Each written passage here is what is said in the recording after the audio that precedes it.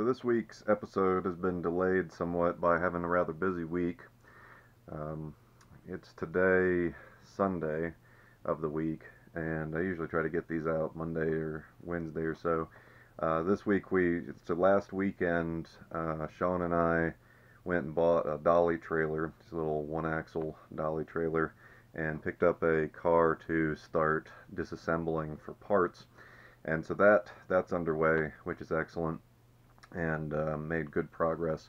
Uh, but so I, have had a lot of effort on that direction. Um, didn't put much into the show, uh, although I've been taking some segments, and I intended to go ahead and, and feature what we were doing with getting the car and and the beginnings of disassembly in the trunk and so forth. But I want to I want to hang off on that uh, a little bit. So this week, um, I'm just going to put together uh, an episode from uh, a video that I've already taken on the uh, 528 on our 1988 BMW E28.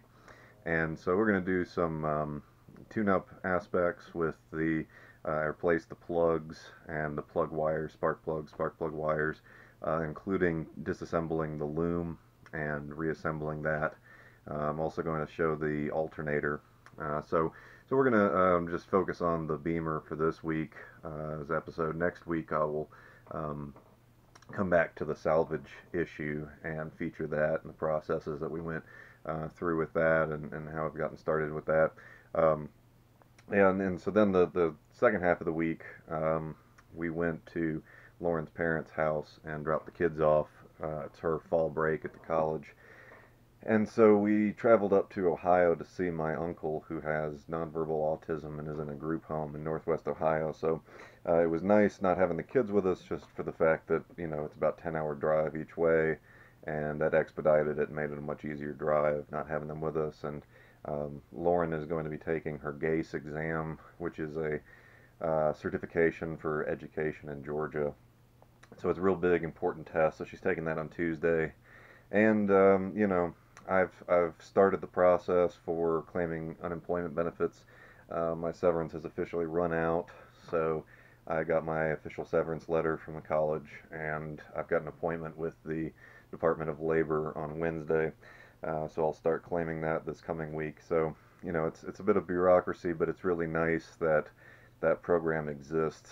And, you know, I feel really fortunate that even though I think we can progress in a lot of social uh, programs, uh, you know, we have to be thankful for what we do have. And, um, you know, this, this will help us to fill in the gaps while we're trying to figure out how to uh, proceed forward and you know and so forth. The salvage business I think has a lot of potential, but it's going to take time to build up momentum and inventory and so forth. So there's going to be more investment in the front end before we start getting paid, so to speak. So, uh, so you know, um, still real uncertain about what's next and how we're going to proceed exactly, but we've taken some significant strides in a few directions, and um, you know, I'm just trying to keep my head up and uh, you know keep keep putting my feet in front of each other and keep going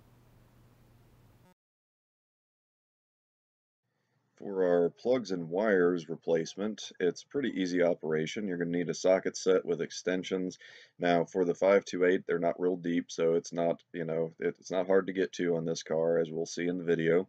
Uh, I recommend using a plug remover socket. This uses a 13 16th size. The plug remover socket is a specialty socket that has a rubber boot on the inside to suction the socket and pull it out. You can get your fingers on this, so it's not an absolute necessity, but you will need either a deep set 13 16th or a socket remover, uh, plug remover. Uh, this is a pretty easy job, one to two hours. You know, um, particularly this depends on if you are replacing the loom or if the loom came with your uh, wire set. And you know, this is a really easy operation. I'll give it a two out of ten. But there is a lot of danger involved in the respect that you have to make sure that you get the the plugs threaded right and that you don't over torque them as we'll talk about in the video so just take your time it's an easy thing but you know you don't want to get cocky with it you don't want to you know rush it take your time work through it um, you know the, the organization of the wires is helpful with the loom as we'll see uh, it makes it you know so that the everything is nice and organized um, you know, keep the old wires. They're they're typically not totally bad. They're just, you know, it's better to replace them. Uh, so keep those and um, you know, uh, same thing with the with the loom. Uh, it can be reused. So if you have a set that doesn't have the loom, this is the plastic piece that organizes the wires, then you can reuse the old one as I do in the video.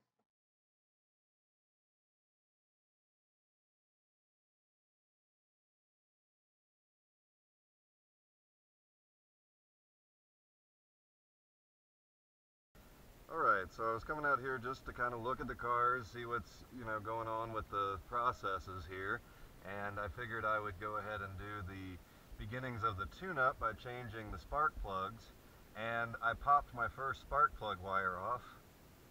Look at that. The previous owner, presumably the one owner who had it for most of its life, but somebody basically rather than buy a new plug set you can see the difference here. This is what it's supposed to look like. Rubber, right? This orange rubber that actually suctions down to the boot and also, or suctions down to the uh, spark plug right there. It also makes sure that no crap gets in there. And these first two, you see, are both just spliced and pushed on there.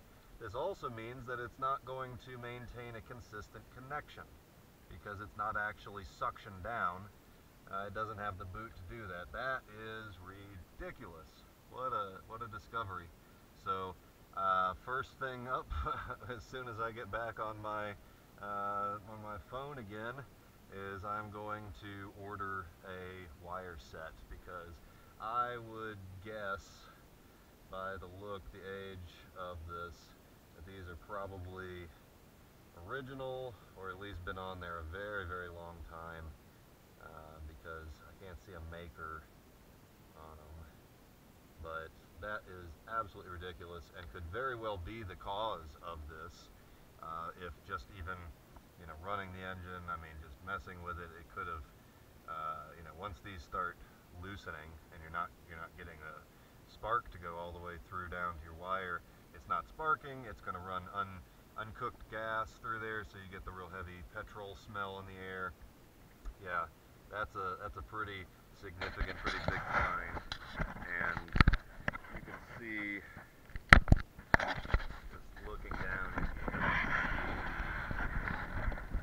situation. It doesn't look like it's been like this too terribly long. It doesn't look too gross, but that's a big find and should make a fast improvement on the run. Alright, so we're here with the 88 BMW 528E. Going to be replacing the plugs and wires today. Good thing to do at the same time, especially if you've got an older car, uh, like, you know, all these 528Es are older. You don't, if you bought it used, you don't know how long it's been since a tune-up. So we got the new plug wires. I got a set from CarQuest. The first set that I ordered online uh, was actually the wrong size. It was already set up. It had the loom, which made it a little bit fancier. We'll talk about that in just a minute. But the inside of the actual plug connector, the part that buckles onto the plugs, was the wrong size. So even though it said that it was right and it had the right configuration, that connector was wrong and it would not seat.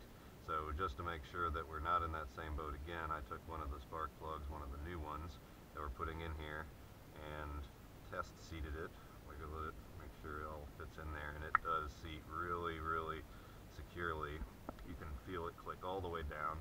You see the rubber is the right length. Everything is good to go.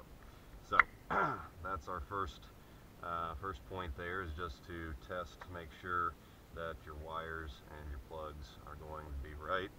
Uh, I pulled this off as I was just starting to get into this car. Haven't had it uh, less than a month now. Been just getting into the systems trying to make it run right. And that is just a terrible, terrible thing. Oh, and you can see the wire inside is all tore up too. Oh, it's amazing that this thing runs at all. Because the first two of these plug wires both just jacked up, just jacked. And you can see even the ones that have, oh, see that one just came apart in my hand, oh my gosh. Yeah, so these plug wires definitely, definitely need to be Uh, in fact, that one I'm going to have to get out, uh, probably with the needle nose. Oh, no, I got it off of my finger. Look at that. Even the ends came off. This is just terrible. So uh, I'm not sure if this is this is original stock. The rubber looks so dated, but I don't see uh, BMW logo or anything. So who knows? But these these plug wires are toast and definitely coming off of there. Uh, we are going to have to. So they call this the loom. One thing I just uh, love about these is it has this system for channeling all your plug wires so you don't have to worry about which one's which and getting this bundle of wires and everything and it has that nice little bit of heat shielding too. Buckles very easily just right on the top there. I'd left it loose from pulling it last time as I was just getting into the system. Um, you also have now on this one you've got numbers on there. You'll see that my new ones do not have numbers on them. So I'm going to need to do something to uh, write numbers on and get a Sharpie, whatever. Um, but you can see your firing order starting at the bottom. It goes five, one, three. This one has lost its number, but that's six, four, two, And the C goes in the very center. That's C for center. And that is coming from the, uh, the, the volt uh, coil, coil, the voltage coil. Um, so that's going to be real simple. Again, you know, you want to write down your firing order. You can look it up online if something goes wrong, but 5, 1, 3, I just think about it as odds. 5, 1, 3, 6, 4, 2. That's our order. And so we are going to, now again, this set does not come with the loom, so I'm going to have to take the loom off and um, actually pull the wires out of it, disconnect it, and replace the wires with the new ones. Alright, so we've got our old plug wires out. You can see this one failed pretty spectacularly as I just tugged on it for it to come out. I really cannot imagine these being original, but the one thing that does seem in that favor is that on the boots that attached, uh, attached to the distributor says West Germany. So this set, at least the boots, maybe some people will actually disassemble these, but I doubt it. It looks much too complex for disassembly. You could, but uh, it's got a little locking mechanism there, whatever. I, I think it's unlikely that the previous owner transferred these. Uh, these are so jacked up with these, all, all sorts of ridiculous, uh, unneeded why do they have these on here? Just does not, you do not need these zip ties. Totally unnecessary.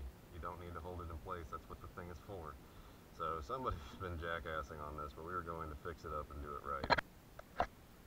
Alright, so we're working here on putting the new wires into the loom. So we've got the loom apart, very easy. I wouldn't even recommend using a, you, you could use a flathead screwdriver, but the, they popped off so easily, and a flat blade, you'll have more of the temptation to actually break them. It's very easy, there's just a bunch of them. It's very secure. See every little notch here is another one. Both sides have them. You just start at one end, popping them off as you go. It came apart very easily.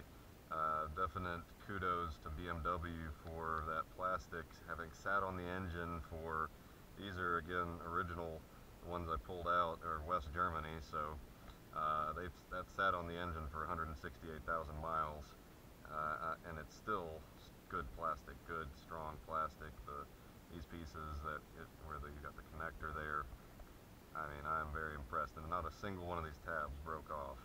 So what I've done is arrange from longest to shortest, because your six is going to be way in the back there, and one up on the front. Uh, so I've got the longest one here. The, the two longest are actually the same length, but uh, so I've got the six already in here. You see, uh, routed it again, trying to go all the way to the end. So push it over to the side after you enter the channel. Uh, you've got these nice little guiding. You can get two into each of those, and I'm just gonna work back, putting them in, uh, going from longest to shortest. And as I put each one in, this one does not have the numbers on it, unfortunately, because this is basically a universal set that CarQuest sells that's just all the right lengths and everything in the boots, but uh, doesn't have any of the extra bits, including it doesn't have the loom, and it's not numbered. As you can see on the original, the original has these numbers on it, which is typical. So, because um, you can't check, you can't run your fingers along it because it's going into the loom. So I've got some white electrical tape. I'm going to, for each of them, uh, wrap the end here where it's going to connect into the distributor with electrical tape and number them so that I can get them all placed right. Once I've got them all in, I will close up the loom and reinstall. Alright, so I've got all of my tips here all numbered. I tried to number multiple times and went ahead and wrote on the wire itself, so that's harder to see. Just being a little extra anal retentive on this because once you get it in there, you can't follow with your fingers any of the wires because you have to open up this trunk, the so-called loom. But got all of our plugs all lined up. Uh, you'll notice that this loom presumably was used either for the 4, the straight 4, or the straight 6. Um, you see you got these extra holes here, presumably the 4 would go through this one and this one, but for the 6 you do the intermediaries there and there. And we've got it all lined up just to keep everything nice and bundled right at the end. This also keeps the wires even better uh, stained in there. Once I get it uh, back together I'm going to wrap the, the, tip there a little more of this uh, tape just to get it all good and snug in there and then it'll just be a simple matter of putting it back on. Alright, so we've got the loom back together. I hit it with some of my favorite grease there, that wheel bearing grease, and got it nice and oiled up. I have to say I'm very, very impressed with BMW. These are, uh, this is definitely the original loom from the markings on it, and it is in 100% like new condition. Uh, again, just with a little bit of greasing, it's it's nice and uh, you know got a nice finish. Uh, not a single one of these popped on disassembly and reassembly, and that is absolutely incredible considering this sits right on top of the engine.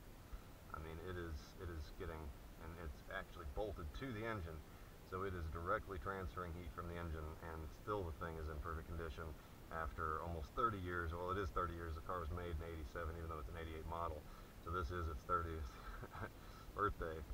Uh, absolutely amazing. So we're putting the loom back on, run it under here, and starting the bottom there with the 5. You'll feel it not just connect, but it'll click down. Get a nice solid connection there. 5, 1. I'm just, and this is again why it's so nice to have them numbered five, one, three.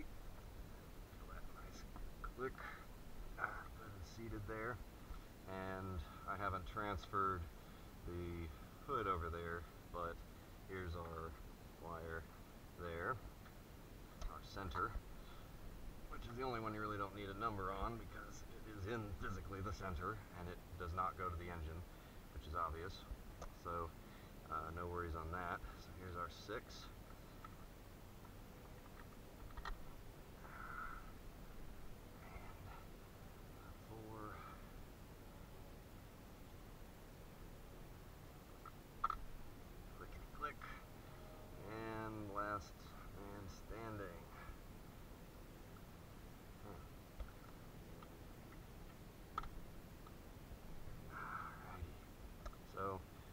our distributor all hooked back up again. To set this down on the engine and just thumb tight these for right now. Come back later. I'll allow it to stay positioned but still have some wiggle room.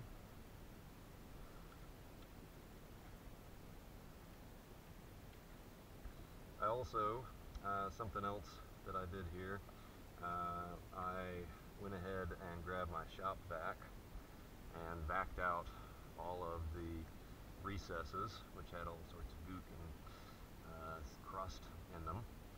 So uh, we are set with the plug wires. Next thing I'm going to do is actually take out the plugs themselves and uh, you know normally this isn't necessary if it's a car you've been working on already and removed but I went ahead and hit them all with some PB Blaster just a little bit around each.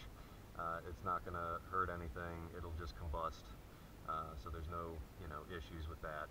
But it will if there's some uh, rust around if it's real torqued real tight uh, you got to be careful particularly people that don't know what they're doing torque down too hard. And you know uh, who knows how long it's been since these spark plugs have been out of this car. So they could have 30 years of crust and rust on them uh, I've seen stranger things so next process is simply going to be and this is a real easy some cars are tough to get to. This is real easy. You see them, they're all nice in a row, nice in line. Everybody's ordered. The Germans love that. And then it's just going to be pop, pop, pop, going down the line. We're going to be replacing them with this Bosch Super Copper. And I'm going to have to check and ensure that the gap is right. But we'll be installing those as soon as I get these out.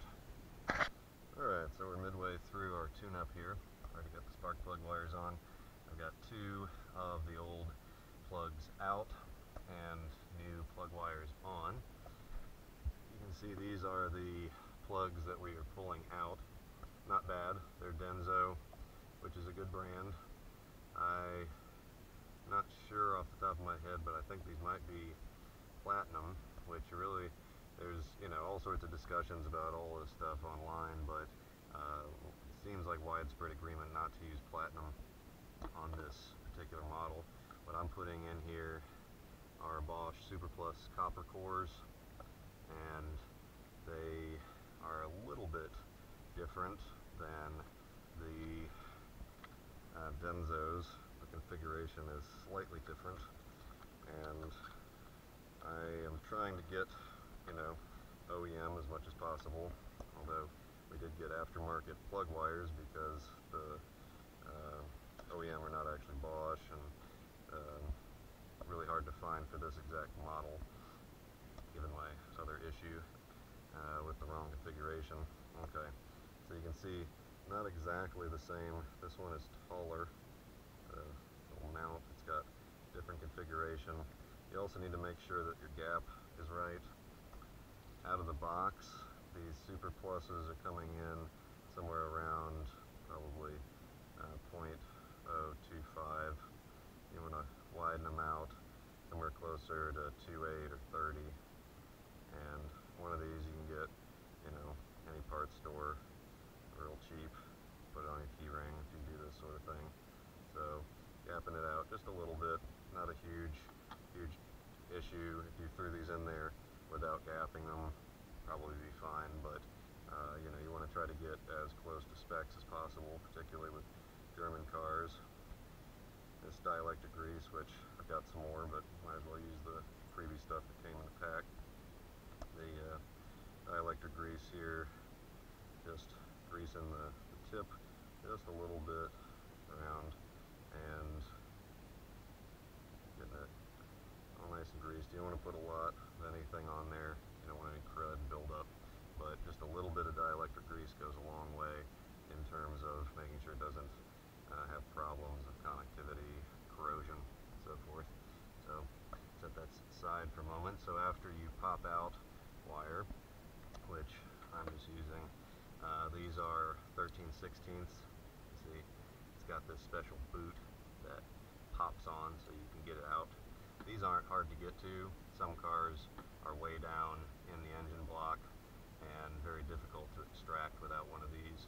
This you can get out with your fingers, but I still like having the, the special attachment. Uh, I've got it on a swivel just to um, give me a little bit of extra room there and maneuvering room. And again, they're just nice lined up in a row and you want to just, you know, take your time don't want to put too much torque in here initially popping them. See that one broke, no problem.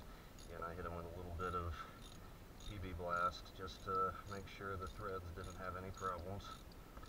And they are, you know, it's a long, very fine thread, so you want to take your time And once you get some access to it, you can pop your boot on there.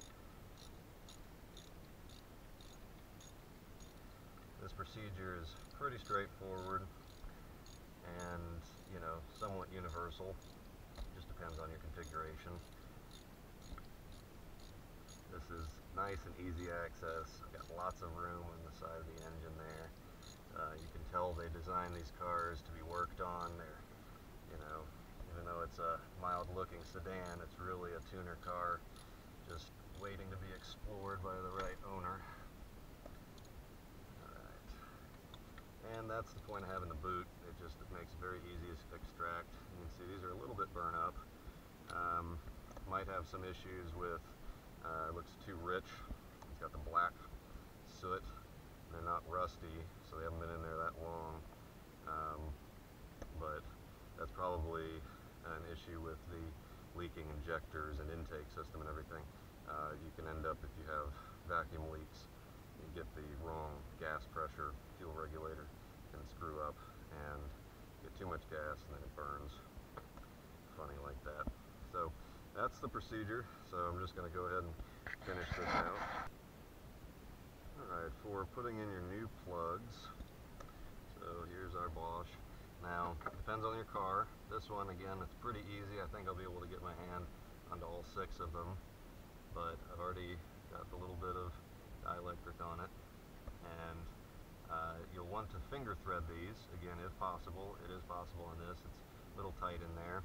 Um, you can also use like a heater hose, something uh, maybe that size, right, that you can feed down in there that just suctions on there, turn. There's a number of different ways uh, you can get it in there, but the key is you do not want to cross thread it. You want to make sure that it is going on exactly the direction it needs to go in and the threads are just perfectly aligned. You can see how fine that is and that's actually drilled down into the engine. So you do not want to get the threads mixed up and cross thread it and then push down and torque it and chew up your threads. That was a very bad day if that happens to you. So uh, you just want to get very careful, finger it on there. If you feel any resistance, take it back off, keep trying, take your time, and uh, be gentle with it. Now once you've got it on there, you're going to, I'm not done, I'm going to, you know, tighten it down. When you get it tightened in there, you're not going to tighten it very hard.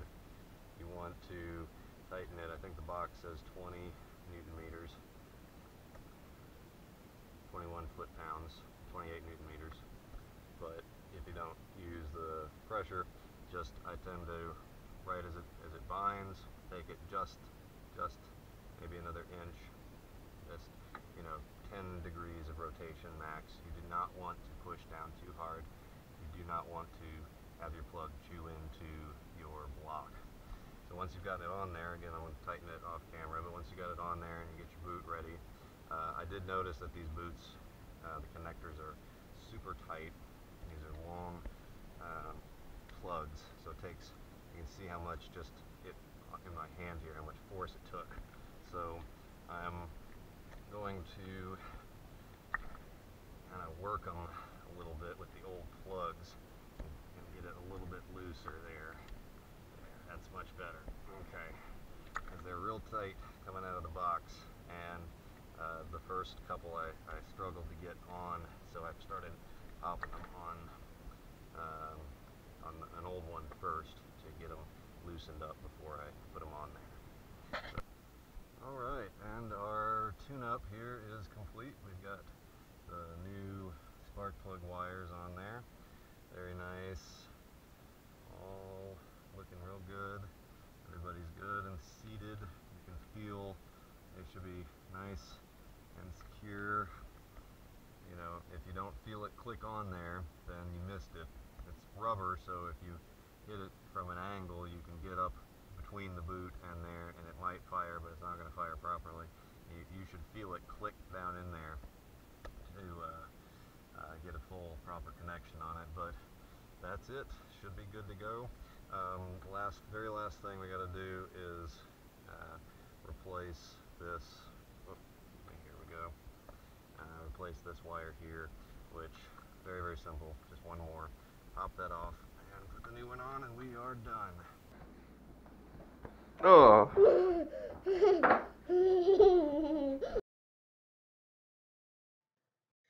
For our next project for the episode, we are going to be replacing the alternator in the 528E. It's a pretty straightforward job, especially as alternators go. I've placed this on the easier side of the spectrum. I've placed an, I've replaced a number of alternators over the years. Sometimes they are real easy to get to, sometimes they are not. This is on the easier side. You will be removing the air box to, in order to access it, but otherwise it's a very straightforward operation. Because this doesn't run on a serpentine belt, but rather has a series of V-belts, uh, it's important that you know it, you check the belt, make sure that it's in good condition. If it's not, it's more difficult. But uh, if you're going to be replacing the belt, you should go ahead and replace all the belts because you're going to need to to get uh, in order to get the belt off. You will have to uh, take off the belts from the other systems as well by the nature of the beast. So if you're replacing this belt, just go ahead and do the others because you're going to have to take them off in order to access it. But all all pretty straightforward. This sort of system is very easy tensioning. Uh, it's all very straightforward. I'm not replacing the belts because my belts are fine. Um, but uh, you know, do keep that in mind. Uh, also note that the alternator that is featured in this video is wrong on many levels, as we will see. Uh, so part of this is undoing some of this, the, the, idiocy of previous owner and the bizarre way in which he had this in there. So he actually had the wrong alternator and it's jacked in there, very odd. The part of it is undoing uh, the the what's been done to it and note that the proper installation, the bracket that I'm trying to figure out how to get on there is supposed to be attached to the engine itself and not to that weird little piece that the previous owner had welded in there. Uh, also, very important note, make sure that you fully charge your battery uh, whenever installing. This is just generally good advice for new alternator installations. Uh, you want a fully charged battery when you start the car. You do not want to overload a new alternator because it can burn them up. Uh, so make sure that while you're doing this, you have your battery on a charger.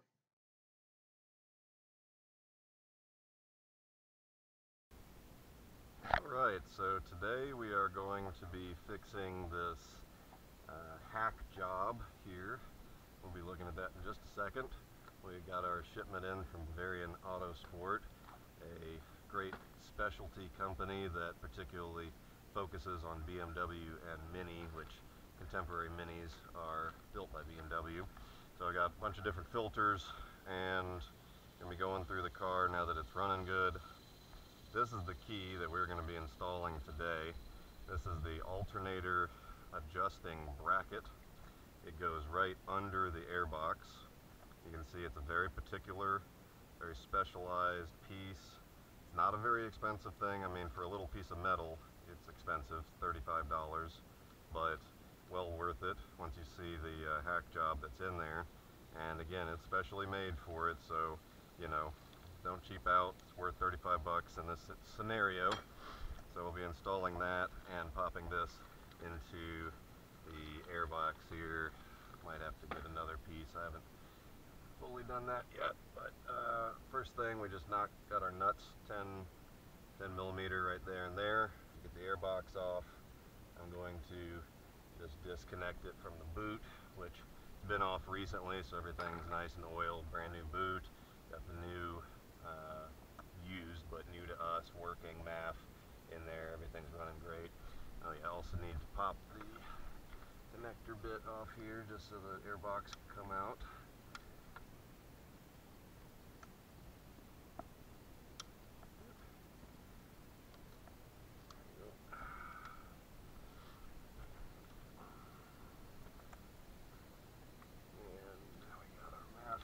Connected.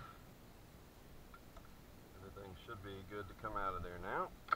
Very easy procedure. Some cars, uh, for example, Alright, so we are updating here on the progress of replacing this uh, rather jackassy plumbing strap hack.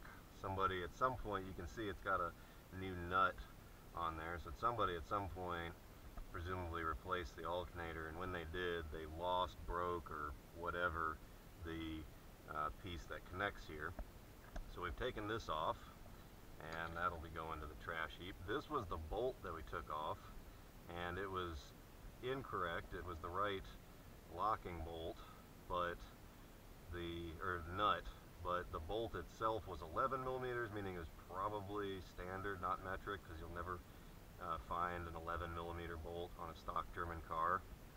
So it's probably actually a standard American, not uh, metric, and it just does not feed in there right. And I don't know if you can see the uh, the, the threads have been completely shorn off. So somebody just absolutely force torqued this on there and ate up the threads and at the same time really did damage to the locking nut. So luckily it's, as in most German things, pretty universal. So one of the interior locking nuts that I took off of the airbox when I put the MAF on, I'm going to use that because you see it's compatible. And I went through my, I've got, I bought a, when I got the 944, I bought a bucket of bolts off of a 944 where they had completely disassembled a 944 and this was all the stuff that wasn't parts so it was all the, the bolts retaining things whatever and um, nuts and so forth so I categorized it all into various buckets depending on sizes and I've also got a uh, buck, uh, bag full of the really big bolts that stuff and bigger um, and then all the washers and so forth so I was able to go through that um, German cars are all using the same bolts. Again, 8, 10, 13, 17 millimeters, pretty much almost everything you're going to find on a German car. And so we're going to replace this piece of junk. And you can see it's all twisted. And I was just, what a hack job. Terrible, terrible, terrible. So uh, that is going to go in the trash. I've got a bolt here. I got the one that's just the right length. I looked and looked through there, found one that's just the right length, so I'll be able to torque it on there, but it's not going to be a big old, you know, hanging out thing to rust up. So uh, we're going to put our new bracket on there and tighten it all up. Alright, so update on the alternator bracket. A couple things I've noticed. One, this thing is really in there very very poorly. And I'm going to have to look and see if this bracket is actually correct, the way and place that it's sitting and everything. And it's just really piss poor uh, welding job not even, I mean, it's got this little tack weld there, which is just not good. So I'm wondering if the if this is the original bracket or also something jackassed or if it's even where it's supposed to be. My guess is that it should actually be over here and here's why. When you hook this thing up, the, you can't get it over there, right? So, it's just uh, almost, but doesn't quite reach. So my guess is that this thing ought to be about an inch over, which my next guess is that that is why, that's why it had that jackassy uh, plumber strap in there. Another thing, the bolt that I was putting on there was not quite long enough, so I'm going to put this thing on there for retaining and that will I, I got this out of my 944 bucket and it had a little lip right there that wouldn't let me put it through so I dremeled that down with a grinding tool on the Dremel rotary so now that goes through there and I can figure out whatever the best way to hook this thing up is. If I can't get it all the way over there, I might actually end up using just a little bit of that plumber strap just to extend the hole to there. Um, but it won't be nearly as reliant on it. It'll be much more static. So that's currently the plan if I can't rotate it far enough over. You, as you can see, once you remove this, then the thing rotates freely, so it's a matter of tensioning it, right? And that's the issue, is that it's just not gonna not gonna get over there, because again, my guess is that this is actually off, that it ought to be over here, or perhaps even this is the wrong piece and there's something else that's supposed to be there. Again, something I'm to have to look at images online and see what I can figure out. Alright, so here we have my slightly better rigged version here. I did have to reuse a little bit of the plumber strap that I pulled off just to extend this out about an inch there I still think that there's something wrong with this plate. I'm going to have to research that and figure it out. But for the time being, at least here we can you know, tension this This is much more taut. There's no, no give in this anymore. Nice and solid now. So, uh, not perfect, not like new, but given what I was working with, this is a heck of a lot better. Next thing I've also got to check is for some reason this wire here um, is off, blue, for I presume the alternator. So I'm going to have to look into that as well. But uh, just trying to undo all the stupid stuff that the owner did to this over the years, but back running good, and at least we're on the road. Alright, so we have received our new remanufactured alternator. Got this from O'Reilly's. One of the nice things about O'Reilly's is all their remanufactured parts have lifetime warranties on them. So here's our new alternator. Oh, it's a big boy. 90 amp. Alright, so here's our new guy. And it is very clear that this is not the same configuration just by where these through bolts are completely different housing than the one that's currently in there uh, which would account for why it had the plumber strap, why actually putting the new piece in there didn't fix it, didn't, uh, you know, had to jury rig it to get it in there. But we're going to put this in there, real easy procedure. First thing, we're going to pop off our sensor, take off the mass effect or mass uh, airflow sensor from uh, the boot here, pull our intake, and then we'll have access to the alternator. Do make sure that you, whenever you're doing anything electrical, go ahead and take off the negative so that you're protected there. But should be a pretty straightforward operation. This one looks much better. It's got both both of the points of contact. The one that's on there does not have this secondary one, so the I don't even know how the thing is working exactly.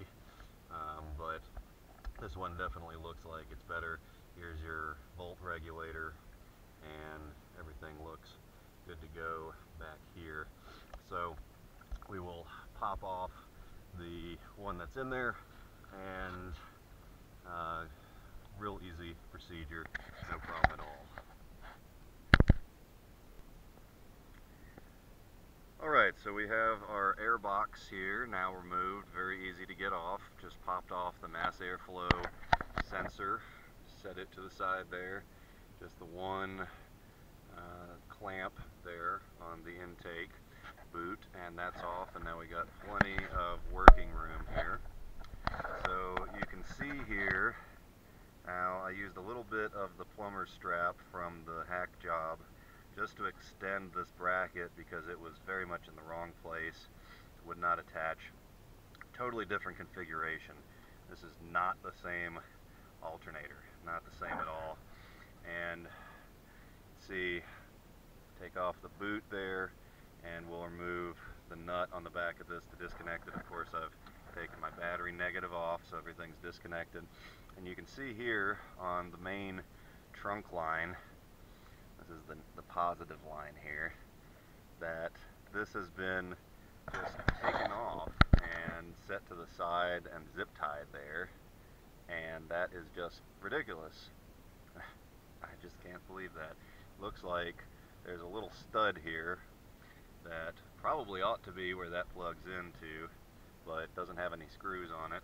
Again, this is definitely not the right alternator. So we're going to start by taking off a bracket here, just removing that and setting it to the side, real easy. Uh, of course, just the bolts there, we'll take that out. Once you take this off, the whole thing rotates freely, and you can very easily just pull the V-belt off. As soon as you take it off the tensioner, again, this thing is just going to rotate. Very easy to get the belt off. Once we get the belt off, then we will have to take the bolt out and then remove. Alright, so we have here our two alternators side by side and you can see they are not even close. So I am going to assume that O'Reilly's got this right. It looks like it's going to be in the right position for putting the uh, bracket over there, the tightening bracket, you notice this one is way off. Just not even the same configuration and it's amazing that it even stuck on there.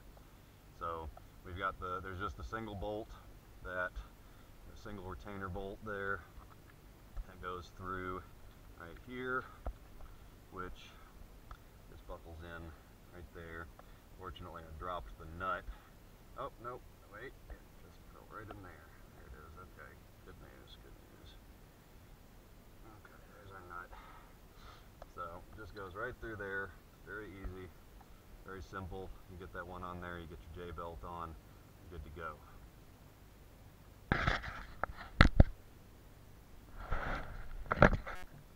Well, we have partially and reinstalled this, but we've run into a couple of snags. The bracket on this side that you run the bolt through was pinched this way on the front because the one that was in there was the wrong size. And so when I forced that piece open, it was weak, broke off. So now we only have the back bracket. I'm going to have to see if I can replace, it's a whole piece that also holds, I think that's the power steering pump underneath there. Um, so I'm going to have to see if I can find that daggum whole bracket and replace that. And then the other issue is just absolutely nothing is lining up on this side. I really don't think that this piece here is original. This piece here, see the really crappy welding job in there. I really don't think that BMW did that. So my guess is that it is after, you know, it is something they did. So whatever this is supposed to attach to, not lining up at all. I don't think it's the radi or the uh, alternator's fault. I think it's the crappy weld-in piece of junk there. So in order to get this in here, you can see the bracket. If it's on this side, it's going to get eaten up. It's going to restrict the, tines of the fan, so it's got to be on the back side, and then it's way, way off. So I'm going to have to really experiment with this. Probably have to put a long bolt through there to get it to line up, but that's basically what we're shooting for at this point. Alright, so we have completed our alternator reinstall. We have the proper alternator in there and running good. There's a little vibration on it because I couldn't get the, the, the front part of it broke off during installation because of a improper installation. So I have the part that broke off. I'm going to talk to the local guy and see if I pull the part off, if he can weld it. But then there's a little still, it's not perfectly idling. I, I think that's on account of the leaking intake, which I still have yet to do the intake uh, seal rebuild. I've got all the seals for the intake system, fuel injectors and so forth. But uh, now this actually sits down in there properly and the bracket is in there properly, everything's tension good and running smoothly. Now one weird thing, as soon as I turned the car, and as soon as I hooked the battery on, there was a uh, warning beep. It started dinging, dinging, dinging, dinging, and just absolutely would not turn off. Uh, that is a new symptom as of in actually installing the alternator correctly. Uh, the blue wire, the small negative wire, uh, was not actually hooked up to the old alternator, so uh, I'm, a, I'm, I'm wondering if the former owner had done that to stop it from dinging, but that was the cause of all of his electrical issues because the alternator would not be working right and the system would gradually drain. It just terrible. Ridiculous, ridiculous. Dear Lord, I come to you this week in humility, filled with anxiety and uncertainty about the future. While I trust very deeply that my life is in your hands, sometimes it's hard to see what the way is forward. Please bring peace and direction and guidance into my life. Please do the same for my viewers. Help them to see your purpose Help them to feel your love. In Christ's name I pray. Amen.